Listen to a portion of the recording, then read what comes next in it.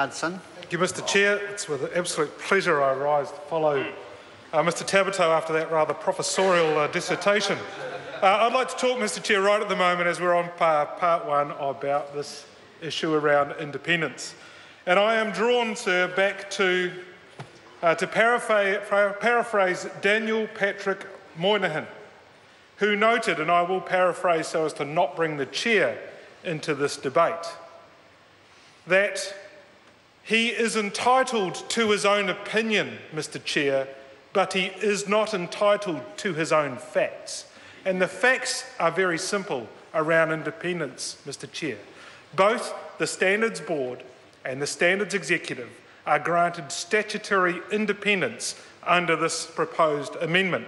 And I would particularly draw members' attention to clause section 7.2 for the Standards Executive, and I will uh, go to that clause and read for their, for their edification, sir, that in the discharge of their duties, that the functions of the New Zealand, New Zealand Standards Executive, in performing the functions referred to in subsection 1A to J, the New Zealand Standards Executive must A. Act independently and B. Have regard to the value of standards, the legitimate use of standards, the importance of maintaining expert input into the standards development process. Similarly, sir, clause 12.2. The board must act independently in undertaking its functions under subsection 1. So members opposite can talk about independence until the cows come home. The fact of the matter, Mr Chair, is that both the Standards Board and the Standards Executive are conferred with statutory independence under this bill. Parliament cannot confer any greater independence than that. And having worked in the, in the private sector, I can tell you, I can tell you, Mr Chair, because it is you and other members present, that actually co-locating in an office is not actually conducive necessarily to the collaboration that a private organisation might want to see. I've worked for multinationals here. If you want to actually um, uh, uh, foster collaboration, it's not achieved simply by putting people in the same building.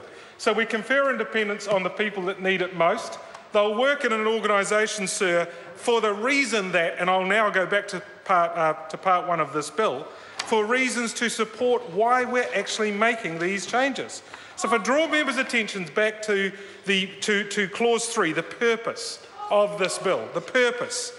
The purpose of this Act is to make provisions for standards and conformity assessments in New Zealand that are consistent with international practice and facilitate trade and protect the health, safety and well-being of the public individuals. Why are we bringing this function or these groups into the agency or the, the environment of MBIE because that is the agency that is tasked with business development and helping understand how we can uh, help businesses position themselves to grow in New Zealand and outside of New Zealand. It actually makes sense, sir. If you're going to have standards that are going to help us to conform, to sell our products both in New Zealand but particularly offshore, actually having them working with the ministry that is tasked with actually helping to build innovation, scientific progress and trade across or, or business development outside of New Zealand, then it makes extremely good sense to have these functions in the ministry.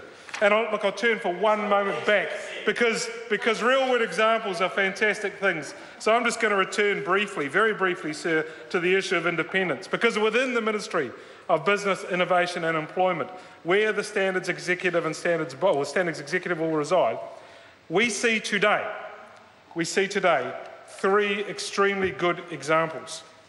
We have the official assignee, we have the registrar of companies, and we have the commissioner of patents, sir.